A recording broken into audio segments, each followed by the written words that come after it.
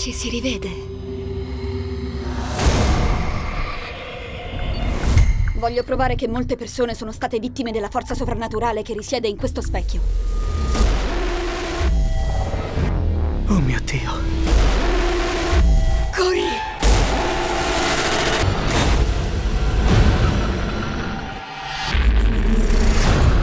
Oculus, dal 10 aprile al cinema.